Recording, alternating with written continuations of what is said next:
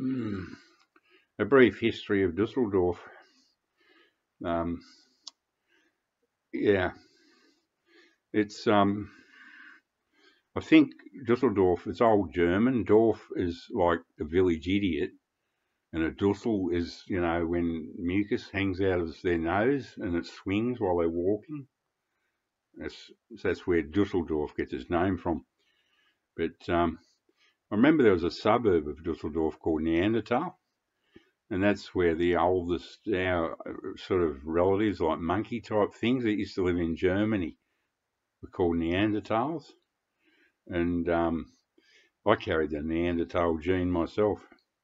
It's um, I have ginger in when I before I went grey, I, I, had ginger bits in my beard and on my arms and that. So people with you know ginger hair and that usually are Neanderthals. But uh, that's just a quick history of Dusseldorf. There's nothing much else to say. Um, there was a band called Kraftwerk came from there, and Neu. What else? That's it. There's no. That's that's all.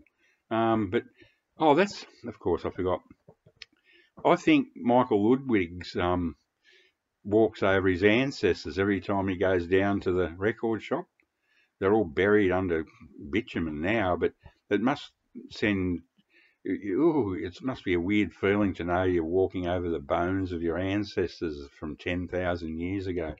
But the funny thing about the Neanderthals is they wondered why they used to collect round, shiny things and, and have piles of them in their caves.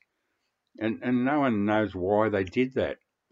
I wonder if Michael Ludwigs could um, explain why his ancestors collected shiny round things. There's, we don't. We, we need an explanation. I'd appreciate it. Uh, guten Abend.